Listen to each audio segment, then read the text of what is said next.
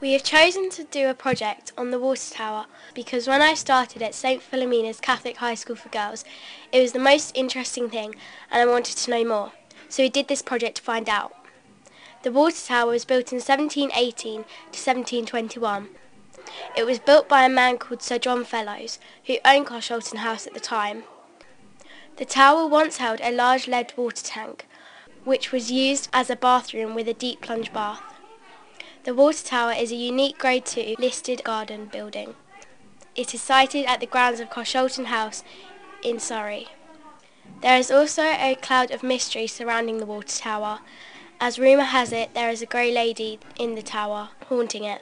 Apparently she ran up to the tower to play hide and seek with her friends, but she slipped and fell to her death. But I guess we'll never know if she was real or not.